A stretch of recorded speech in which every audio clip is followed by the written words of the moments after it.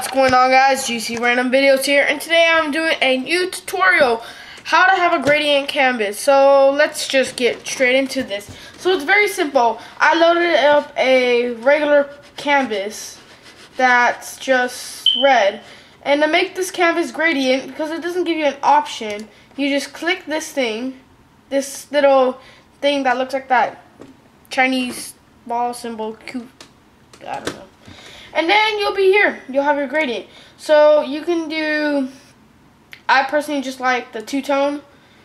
And then you can do li liner, radial, angled. So liner, the way it works is you just click there. You click here and just pick whatever color. So blue, maybe to,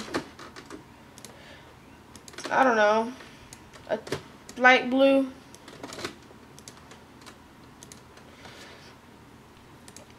Uh, yeah, I messed up. So yeah, guys, that's really it. This is a simple tutorial.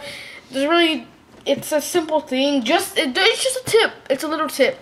So yeah, there are other ways of doing this too. I'm pretty sure. Like I know one way where you just add another, add a shape over it and make that a gradient shape. But you get the gist. By the way, if you don't know, at 50 subscribers, I'll be giving away a gift card, either a $10 iTunes or Google Play card. So I really haven't told anyone because I don't want to get subscribers just because I'm giving away something. You know what I mean? I have to be true. So yeah, guys, that's really it. Uh, what else? All you have to do is be subscribed. Now 50 subscribers. Those 50 subscribers are, they're entered. Once that happens, I'll pick a winner and just do it on my next whatever video.